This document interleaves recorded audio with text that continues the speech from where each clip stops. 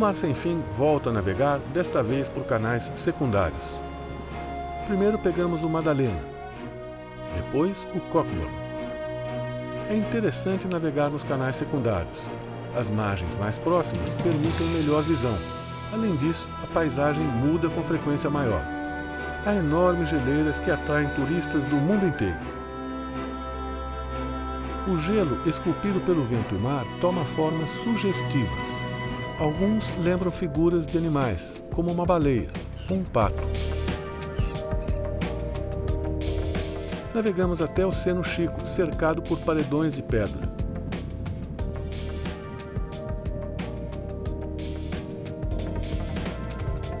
O gelo acumulado no topo das montanhas começa a derreter no verão. Assim são formadas as cachoeiras.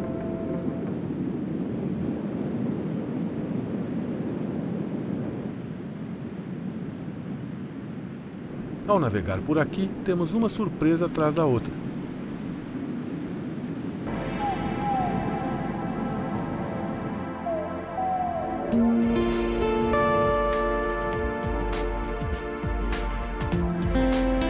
Decidimos ancorar para dormir na caleta Brecknock.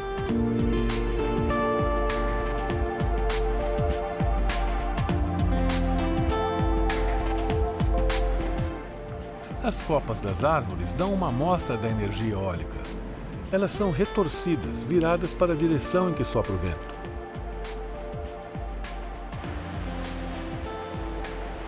Na pequena baía, decidimos aproveitar a cachoeira para abastecer nossos tanques de água. O Mar Sem Fim leva 5 mil litros de água nos tanques, mas eles estavam quase no final da capacidade. Foi uma faina e tanto. Envolveu toda a tripulação. No mar é preciso ter criatividade para superar dificuldades. Primeiro tentamos com uma grossa mangueira. Era difícil manusear. Mesmo assim, o marinheiro Manuel subiu a queda d'água e procurou um local para colocá-la.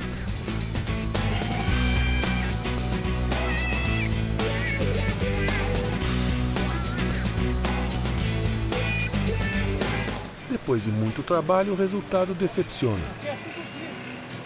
Essa mangueira pequenininha nossa, essa é muito grossa, e aí não vem pressão.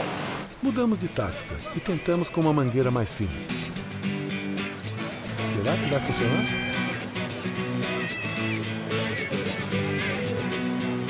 Os cormorões parecem que duvidam da nossa habilidade. Mais uma vez, Manuel escala as pedras e coloca o funil num ponto estratégico. Agora deu certo, funcionou. E água dá boa, hein? Aos pouquinhos, reabastecemos com água do degelo. Mas de onde vem tanta água? Resolvemos descobrir.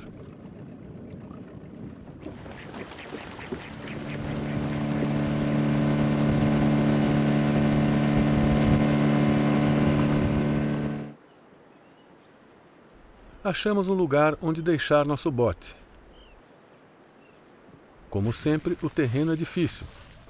Foi preciso andar com cuidado, escolhendo bem onde colocar os pés. Mas chegamos ao topo. Valeu a pena o esforço. De perto, os paredões impressionam. A erosão provocada pelo vento e o gelo durante milhares de anos deixa sua marca. Os desenhos parecem que foram feitos à mão. Aí está a fonte da cachoeira, um lago formado pelo degelo. Andando mais, descobrimos um pequeno canal que conduz a água morro abaixo.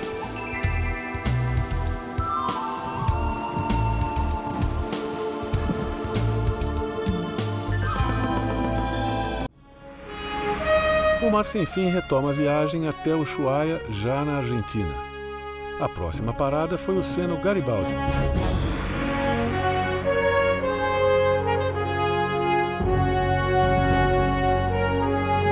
Estamos indo para um dos maiores ventisqueiros da Terra do Fogo, que é o ventisqueiro Garibaldi. ventisqueiro é uma geleira.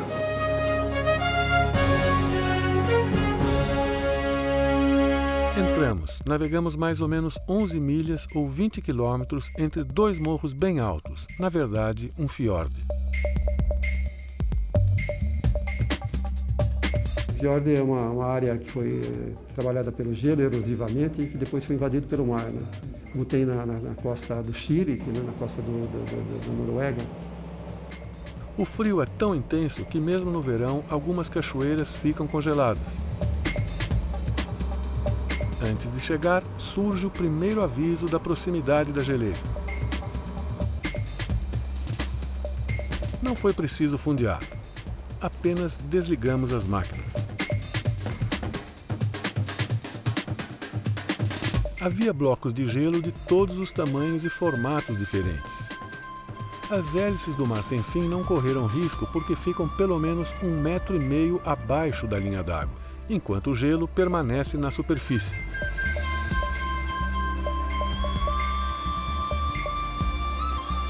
A tripulação curtiu a paisagem. A gente se entende navegando. Já na cozinha, nem sempre é tão fácil.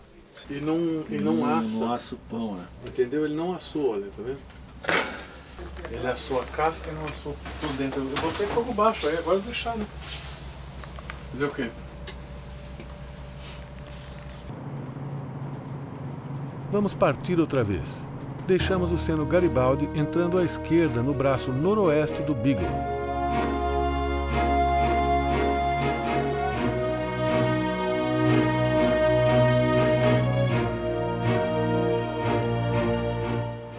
Se a gente olhar o lado norte, quando estiver navegando pelo Beagle, vai ver que uma porção de, de vales glaciais chegam até a beira do Beagle.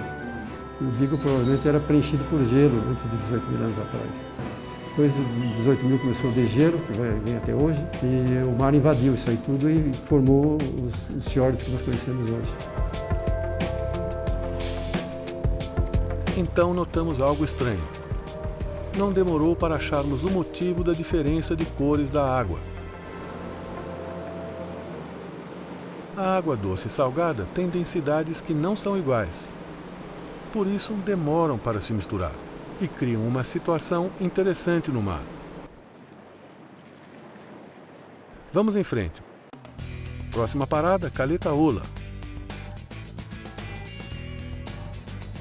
O trajeto é repleto de atrações. Montanhas enormes, cachoeiras de vários tipos, muito gelo acumulado há milênios. Picos dramáticos subindo verticalmente. Tudo isso nas margens do canal onde navegávamos. Poucas milhas depois, chegamos na Caleta Ola. A vegetação é achatada pelo vento. Quando entramos, só havia um veleiro fundeado. Mas logo tivemos mais companhia. Para que ancorar se o mar sem fim está dando sopa?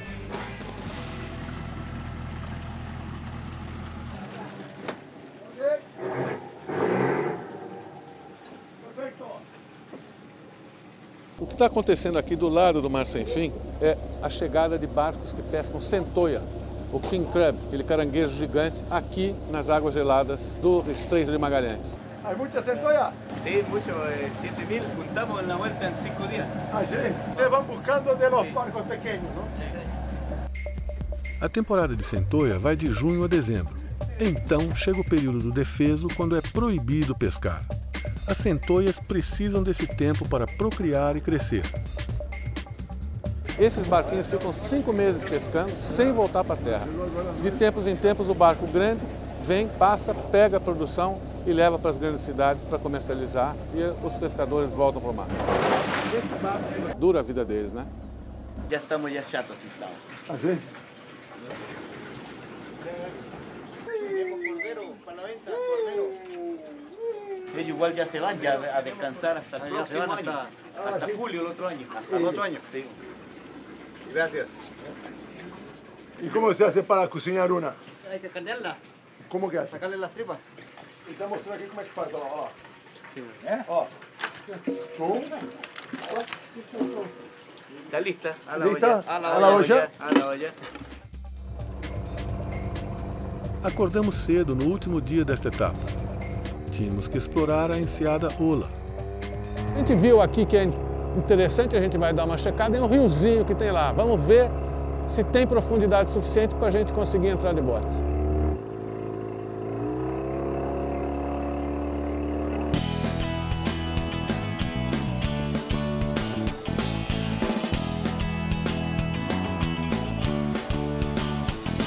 Não havia caminho. Chão encharcado e mata fechada dificultavam nosso avanço.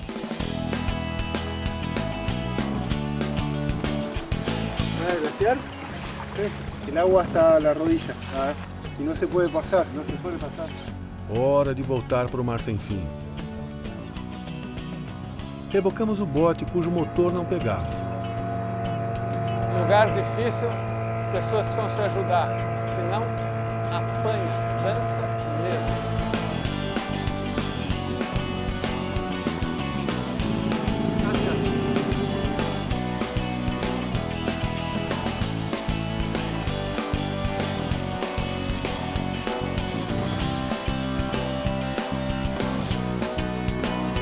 lugar é muito especial. Para mim, até agora, um dos lugares mais bonitos que a gente viu é o Canal de Beagle. E é um lugar interessante, porque ele pertence ora ao Chile, ora à Argentina. E isso já andou dando rolo, rolo feio. Em 1978, os dois países, Argentina e Chile, quase se pegaram. Chegaram a armar as respectivas armadas e vieram para um confronto aqui por causa da posse. Por sorte, naquele dia fechou o tempo e não saiu uma batalha naval. Logo depois entrou a comunidade internacional, o Papa amenizou um pouco esse problema.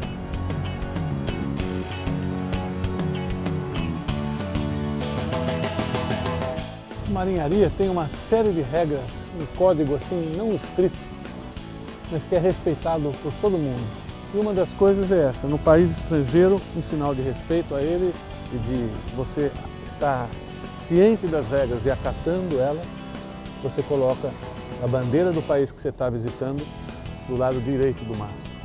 Nós acabamos de sair do Chile, entramos na Argentina.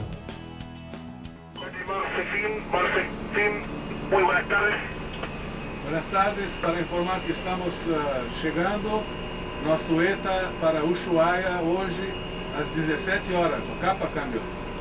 Entiendo 1700. 1700 cambio. Afirmativo. Aproveitamos a navegação tranquila para preparar o almoço.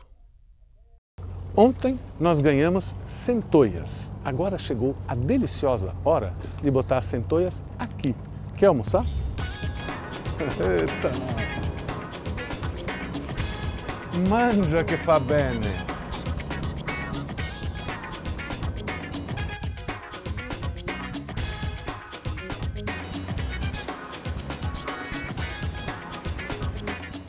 O Mar Sem Fim entra no canal de Beagle. Ushuaia, o ponto final, estava próximo.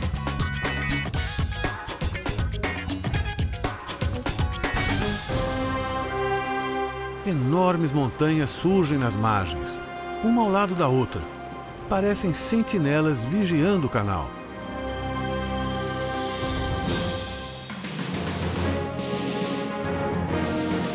No porto havia muitos navios de passageiros. Eles fazem escala antes de irem para a Antártica.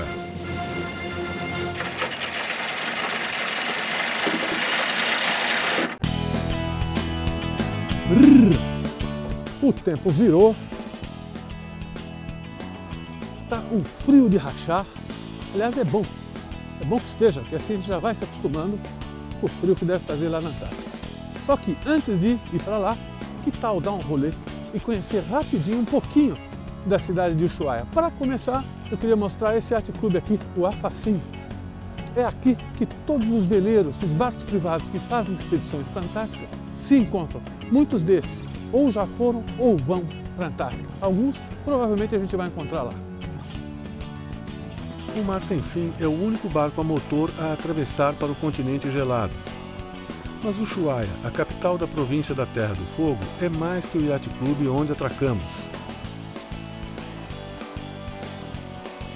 A cidade, nos confins da América do Sul, foi implantada numa baía às margens do canal de Beagle no final do século XIX. Atrás fica a cadeia de montanhas Marcial, um prolongamento dos Andes. A primeira igreja católica, Nossa Senhora das Mercês, é de 1898. Outro prédio antigo notável é a Casa Beban. Construída em madeira, ela foi trazida da Suécia e montada em 1911. Pertencia a uma família tradicional. Hoje é um centro de exposições. Ushuaia se intitula a cidade mais austral do mundo. Ela fica na latitude 54 graus e 46 minutos sul, uma região remota com clima inóspito. Faz frio mesmo no verão. Nos primeiros anos não passava de um aglomerado de casas onde havia um presídio. O governo argentino mandava para cá os presos reincidentes.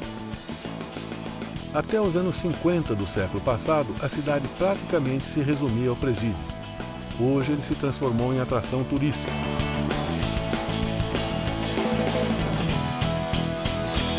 O crescimento começou depois que Ushuaia se tornou Zona Franca. Mesmo assim, até 1974 só havia 5 mil habitantes. Uma década depois, a população saltou para 15 mil pessoas. Novas leis, eximindo de impostos as indústrias que se instalassem, aceleraram o desenvolvimento. A partir dos anos 80, o turismo de aventura e o porto, que se tornou escala ideal para viagens até a Antártica, também contribuíram para o desenvolvimento. Hoje a população é estimada em 80 mil pessoas. Crescimento desordenado cria problemas. Áreas públicas onde havia bosques estão sendo ocupadas por novas moradias. E também surgem as primeiras favelas. Nos bairros mais nobres, quase já não há mais espaço. Enquanto isso, no centro comercial, há cada vez mais hotéis. Outra atração é o jogo. A cidade, que já abrigava um cassino, se prepara para receber mais um. Na Avenida Beira-Mar, uma enorme casa de jogos está em construção. Turistas de todas as partes do mundo chegam semanalmente. O ponto forte é o turismo de aventura. Para agradar os visitantes, há bares e restaurantes de todos os tipos.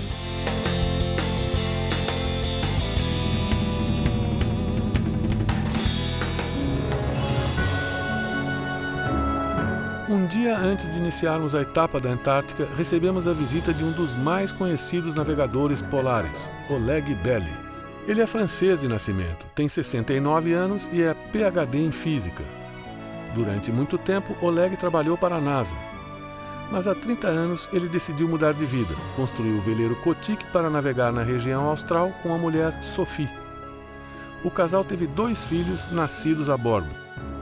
Oleg foi um dos primeiros a organizar expedições privadas para a Antártica e Ilha Geórgia do Sul. Não, você tem carta boa, você tem tudo aquilo que você precisa. É toda carta inglesa, que são as melhores. Ele nos deu ótimas dicas. Primeiro, sobre a travessia para a Antártica pela temida passagem Drake. Você tem que atravessar o mais rápido possível. Sim. Direto à proteção. É a proteção aqui, a partir daqui. Smith Island. Linha reta. Eu levo três dias e meia, e você deveria levar um pouco menos. É, E você tem que esperar uma boa janela. sim, E janela de três dias agora são seguras. são. Você fica atrás do Rhône, Lennox, ou, né? e quando você tem sinal verde, direto. Depois, sobre lugares para visitarmos, como a ilha vulcânica Deception. Aqui para tomar banho quente, peito de Cove, você vai lá e tira na água, dá 25 a 30 graus, né? Agora, às vezes você tem um braço congelado e o outro fervendo. Mas essa... Tem passeio muito lindo, você pode desembarcar aqui, ver a colônia aqui, desembarcar aqui, ver a colônia aqui. Colônias de, de, de, De pinguins, ah, pinguins enormes. Você vai caminhar, ah, passear, vai com GPS e track. Uhum. Porque tempo maravilhoso. 15 minutos, fecha tudo. Você não vê a 20 metros. Aí para voltar, Couverville. Uhum. Couverville, um lugar lindo aqui. Uhum. Aqui tem um, é um cemitério da, de iceberg. Tá cheio de iceberg. Uhum. E bom e muito legal aqui. Mas você tem que ficar de olho um pouquinho. De repente, sobe o mar e o iceberg são grandões. Começa né? a navegar. Começa a navegar e vai embora. Sim. Porque aí vem gelo. Uhum, Não grande, você vai tá- ficar tapado. Não é perigoso. Ele vai ficar vai tapado. ali na marinha. Oleg também falou sobre os ventos. Sul é sinal do bom tempo. Ó, Sul leve, 10, 5, 10 noites, é 2, 3 dias de bom tempo. E frio, mas céu azul, magnífico. Nordeste é chuva, neblina, cacetada. ó. Não dura em geral, mas tem- pode ser muito forte. E depois não tem vento. Antártica é, por- ah, é- não tem vento, você sempre está no motor. Mas quando começa no Nordeste, cuidado. Por água você não tem problema, tem desalinizador. Tem desalinizador. Não tem muito lugar para fazer água. Não tem muitos Não, lugares? não, não, não. Porque em geral tem colônia em cima, com cocô de pinguim. Aí, né? entendi. Bom, ninguém morre, mas dá É, pode é, dar uma é, é. dor, dor da barriga, né? Você vai nos dar uns presentes? Já está nos dando e eu também vou te dar alguns, viu? Embarcação é tipo da coisa brasileira. Ah, eu não sabia que você É, acabei de publicar. Toda viagem. Opa! É. E esse é o livro da viagem. Puxa vida! Muito obrigado, que coisa maravilhosa. Aqui você tem sete horas da costa brasileira. Sete horas. Sete horas. Você vê detalhes, tudo isso? Bem-